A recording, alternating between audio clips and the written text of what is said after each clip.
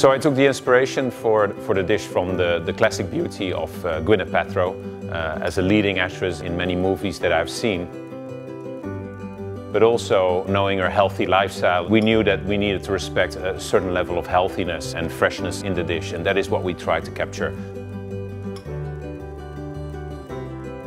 The crab dish will definitely appeal. You know, we, we selected a, a seafood that is very popular as a crowd pleaser in Hong Kong.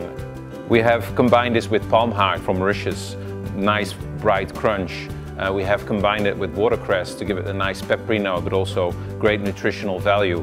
And we have added uh, to this dish uh, some caviar to give it some richness and, and, a nice pop. The inspiration also comes from spring, you know, it's bright green, uh, very pleasant for the eye, very fresh. So I think uh, she's going to be very happy with this.